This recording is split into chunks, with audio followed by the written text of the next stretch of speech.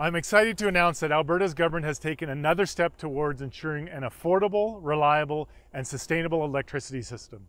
Today, the Electricity Statutes Modernizing Alberta's Electricity Grid Amendment Act, also known as Bill 22, has been proclaimed. Alberta's businesses will now be able to build more energy storage than ever before. They will be also be able to build more on-site power generation with the option to sell their excess electricity onto the grid. This is key to grid reliability by allowing generators to store underutilized power for later use. This electricity can then be dispatched immediately during unexpected shortages. By allowing businesses to generate their own power, not only does this reduce the demand for electricity and lower costs, it also is another reason why Alberta is a destination of choice for investment. These changes are crucial to prepare and prevent scenarios like the province-wide grid alert this past January.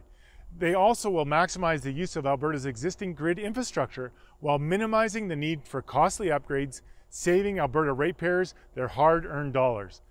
By bringing this new framework into force, our government is continuing to modernize our electricity system, ensuring that Alberta's grid is affordable, reliable, and sustainable for generations to come.